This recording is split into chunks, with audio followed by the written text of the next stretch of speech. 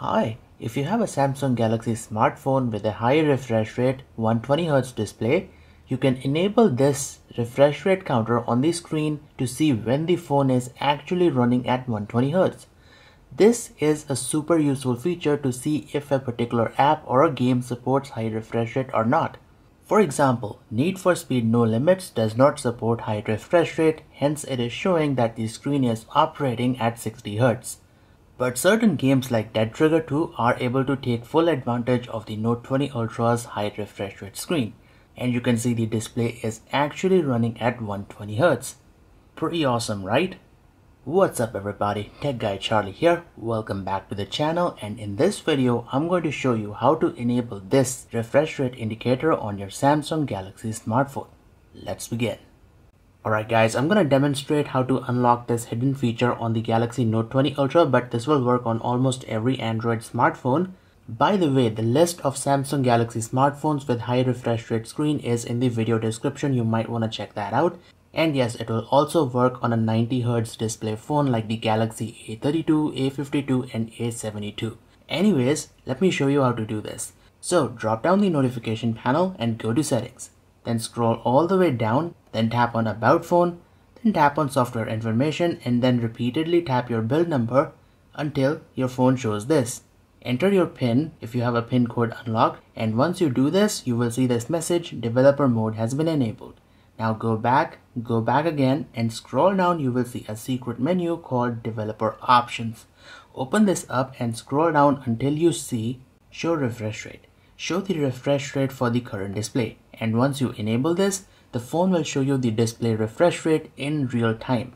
And this is also useful if you want to see when the screen goes into power saving mode. So if I leave the phone like this, it defaults back to 60 Hz. But as soon as I touch the screen, it will go back to 120 Hz. So this is the variable refresh rate power saving feature on the Galaxy Note 20 Ultra. I think many Samsung phones have this feature. So there you go, it's back to 60 Hz. And yes, obviously it's useful for seeing which games are actually running at 120Hz. For example, Need for Speed No Limits does not support 120Hz. That's why this thing shows the phone is running at 60Hz. Meanwhile, games like Dead Trigger 2 do actually support 120Hz refresh rate, so that's why it shows 120Hz. Now obviously you must leave the developer options enabled. If you switch off developer options, this thing is gonna go away. So make sure that you do not switch off developer options otherwise the refresh rate counter will go away.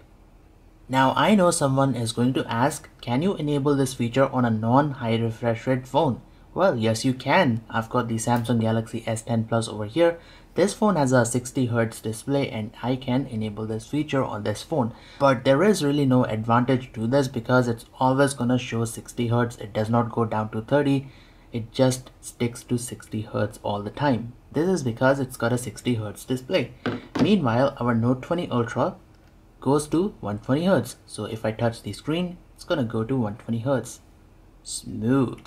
And obviously to get that 120 Hz, you will need to enable 120 Hz from the display settings inside motion smoothness. Make sure it is set to adaptive. That's when you're gonna get that smooth 120 Hz motion smoothness. Alright, so that pretty much brings us to the end of the video. Now, if you do find this video helpful, make sure to hit that like button and subscribe to the channel for more content on the Galaxy Note 20 Ultra. Do check out the playlist. And while you're at it, do follow me on my social media accounts. I'll put all the links in the video description along with the link of the wallpaper. So thank you for watching. Stay tuned for more videos. I'll see you guys next time.